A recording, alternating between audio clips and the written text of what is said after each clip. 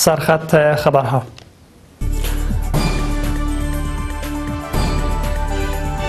ادعای تلفات مخالفان مصالح دولت از سوی های محلی غزنی.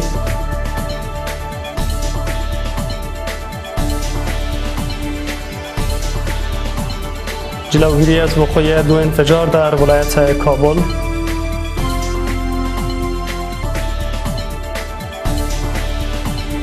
و آمادگی های نهادهای امنیتی و دفاعی برای تامین امنیت 28 میزان روز انتخابات پارلمانی افغانستان.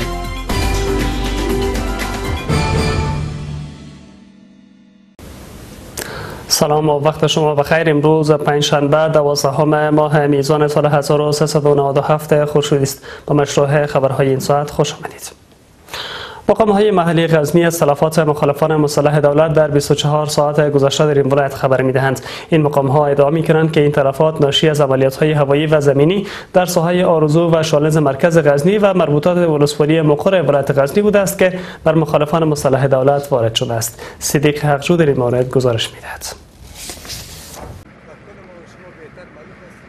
دفتر مطبوعاتی فرماندهی پلیس غزنی با پخش خبرنامه ادعا می کند که در نتیجه عملیات زمینی و درگیری ها در ساحه آرزو و شالز مرکز غزنی هفت از مخالفان مسلح دولت کشته و چهار تن دیگرشان زخمی شدند.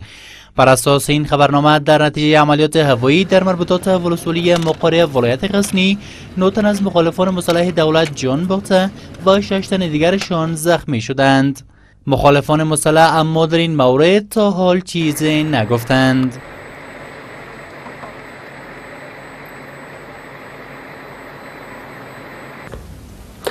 از وقوع دو انفجار تروریستی در کابل جلوگیری شد. فرماندهی پلیس کابل می‌گوید که در 24 ساعت گذشته توانسته است از وقوع دو انفجار در منطقه کوت سنگی در شهر کابل و همچنین در ولسوالی پغمان جلوگیری کند. در این مورد صادق سنجر گزارش دارد.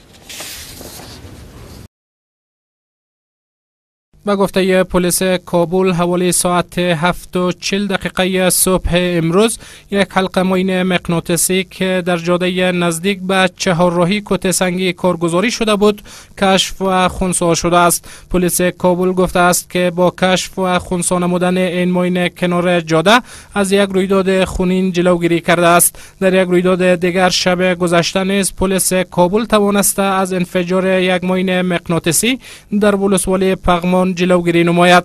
این ماین مغناطیسی در یک موتر کارگزاری شده بود که پیش از انفجار توسط پلیس کشف و خونسا گردیده است.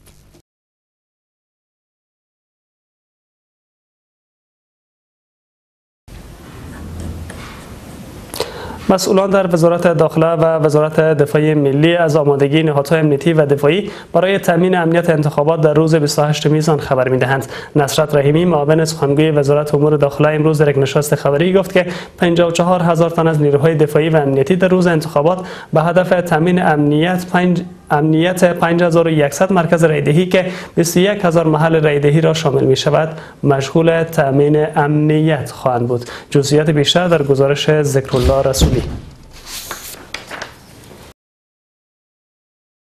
غفور احمد جاوید سخنگوی وزارت دفاع ملی نیز در این نشست خبری گفت بر اساس یک پلان امنیتی گسترده کار تأمین امنیت انتخابات انتقال مسئول مواد انتخاباتی تامین امنیت مراکز و محلات رایدهی تامین امنیت رایدهندگان و تامین امنیت کمپاین های انتخاباتی نامزدان انجام می شود سخنگوی وزارت دفاع ملی در ادامه افزود مواد انتخاباتی به تمام ولایات کشور منتقل شده است.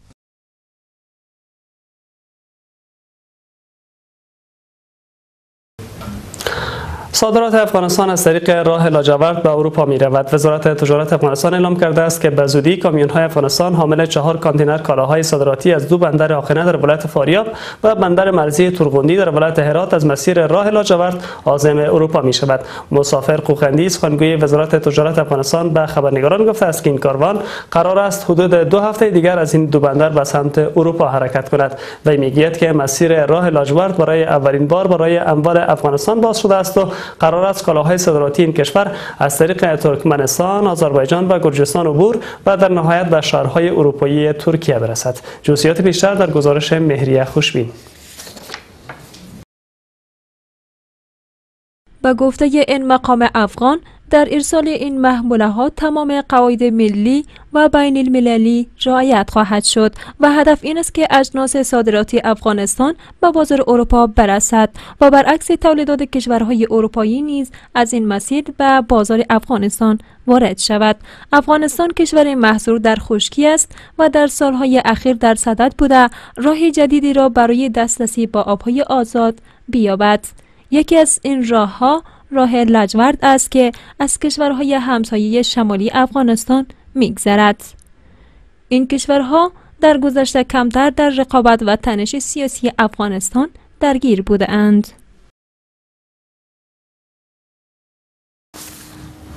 از توجهتان به های خبری امشب سپاس. شب و روزتان خوش. خداوند نگهدار.